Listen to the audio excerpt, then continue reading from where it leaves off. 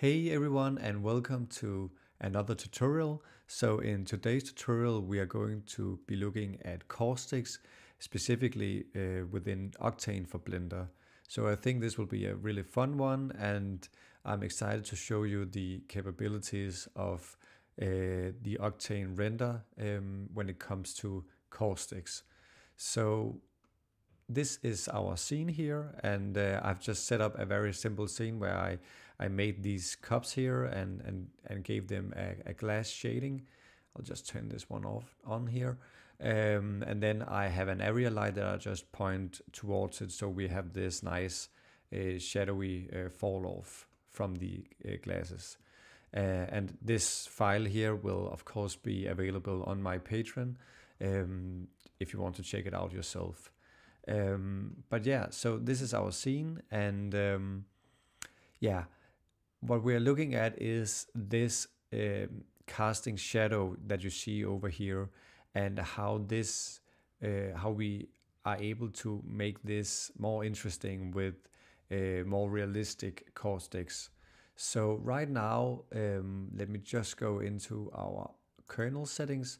So right now, I'm using a path tracing kernel. Uh, as you can see over here, it's the same settings. This is just so you can better see the, um, the kernel settings itself. So right here, I have um, just the normal path tracing. Um, and normally this would be really good uh, to get that really kind of realistic look in your images. But for the um, specific like caustics, we have to look at another option that Octane provides us. Um, and I will just go into that um, just in a bit. But first of all, let's take a look at how we can create some sort of, you know, better caustics in this image here when we are uh, using our path, uh, path tracing kernel. So first of all, um, the first thing that we can do is when we um, select our objects here, let me just go into the shader editor um, I have just a, a, simple specular material here. And um, the first thing is that we're going to allow the caustics. But this, as you can see here, is if enabled, the photon tracing kernel will create caustics for the light reflecting. So actually this setting here is really only necessary when we are using the photon tracing kernel, which I will show in a bit. So right now it doesn't really affect the scene, but what we can do is that we can enable fake shadows. So right now, let me just select our objects here. I will select fake shadows and I hope this will go through also on, uh, on, on YouTube with the quality. Hopefully you can see what's happening in the image here. So we have brightened up these shadows and we sort of get these blurry kind of, of caustics in our image here. Um, it does look kind of uh, not that realistic and I will set the index of reflections to um, 1.555 as this is the um, index of refraction for glass. Um, and when I go back into the Octane kernel, let me just select this one here. You can see we are using the path tracing kernel still. So this is one way to kind of fake caustics and get that kind of caustically kind of feel into your images. And um, I have just rendered out a path tracing caustics so you can better see it. Um, so let me just turn this one off here and um, I will just select this one here again. And hopefully you can see here that we have sort of nice caustics or at least some sort of like interesting shadowy effect. But this is not very realistic and you know depending on the light source that you're using using it can be quite unrealistic. So in this case when we have a smaller light as I will just let me just drag this one out. As I will just show you here it's a small light. It will be even more unrealistic when you use fake shadows.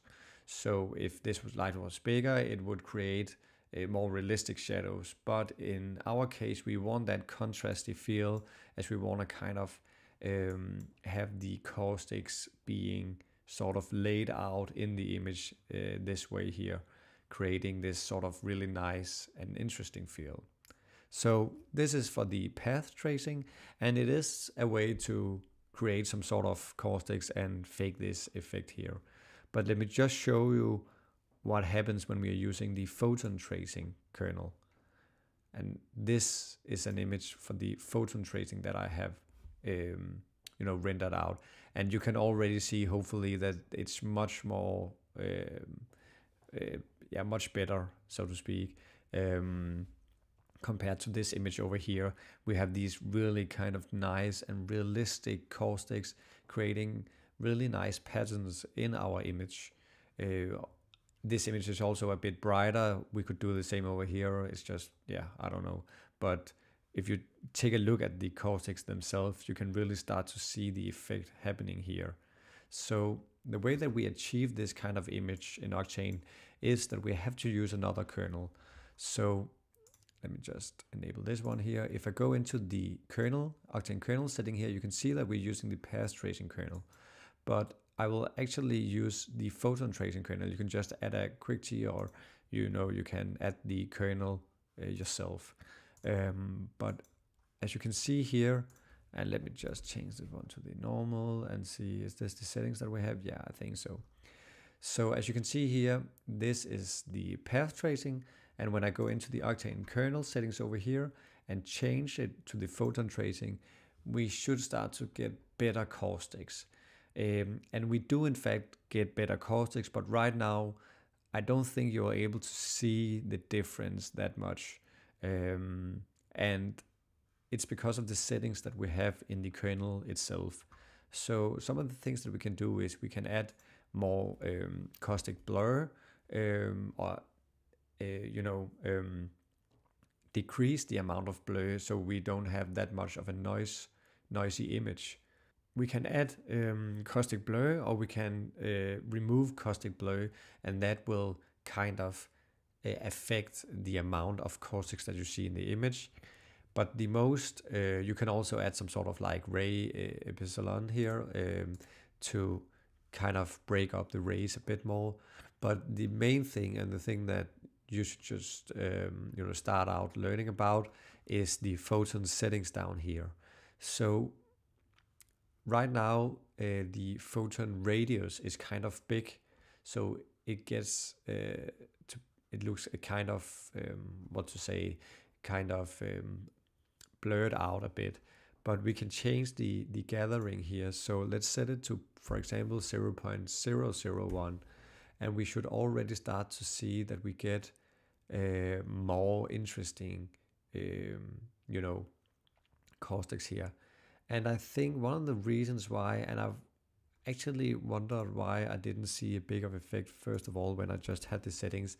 And I think now that I remember I think it's because we have fake shadows enabled. Um, so it's ignoring the refraction. So let me just turn this one off the fake shadow for each of our objects just like this. And now that we are using the um, photon kernel uh, we should start to see it way better. So let me just enable this one here. Yeah, and as I also um, thought, we're not going to see that big of a difference. But now when we take down the radius, let's say to something like this, you can see that we now start to get even better um, photons here. So maybe 0 0.005 is a good one. So now you can see, hopefully you can see that the caustics are coming through on the render here. Um, you can see it especially here down in the bottom where we also have a lot of uh, glass intersections uh, and kind of a different kind of, um, you know, um, modeling uh, kind of things. Is of course when you just have like a round glass, you won't see that much of you know caustics, but I can already see that this is way better than the effect that we have with the um, not this one here uh, with this one here as you can see this is more kind of faked with kind of blown out and now we see these ripples here uh, already starting to pop through and if I just zoom in you can see that they are starting to kind of um, come together here Uh, we can also try even lower here. Um, and it will just, um, it's just a matter of finding the right balance for your image with the photon gathering radius. So if it's too low, uh, you will get a noisier caustic and um, an, an image in general and will be harder to render out. But if it's too low, like like we had in the beginning, uh, they will just be blown out. So it's all about uh, finding the right balance for for your image in particular. So you just have to experiment with this thing here and try to play with the intensity of the of the light itself, and you will start to see uh, caustics that simulate this kind of feel here. Um, so yeah, so actually there's not much more to it than this one here. Um, depending on where you position the light and and the settings itself, it will affect the the uh, the image itself. So I know it's not exactly the same over here. Uh, this is also brighter, but I also did uh, some post on this image here.